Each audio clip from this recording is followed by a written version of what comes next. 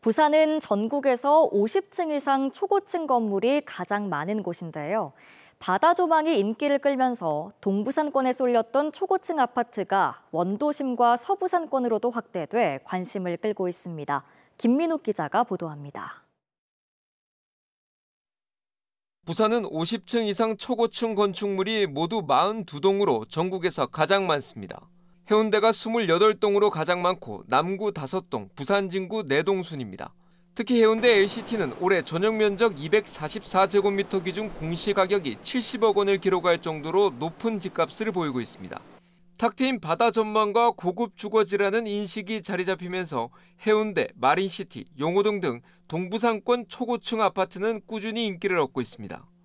초고층 아파트는 고층으로 올라가는 거죠. 높을수록 상당히 이제 view가 많이 확보가 됩니다. 앞에 가리는 현상도 별로 없고요. 그러니까 탁 트인 뭐 조망, 그다음에 이런 것들을 볼 수, 넓게 볼 수 있는 그런 뷰가 확보가 되기 때문에 보시는 것처럼 동부산은 초고층 아파트가 밀집해 스카이라인을 형성하고 있는데요.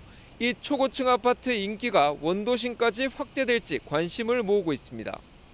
송도 해수욕장에는 서부상권 최초로 1,300세대 규모 초고층이 이미 들어섰습니다. 분양을 시작한 부산 동구의 한 69층, 높이 263m 아파트는 원도심에서도 초고층 아파트 수요가 있을 것으로 보고 도전장을 냈습니다.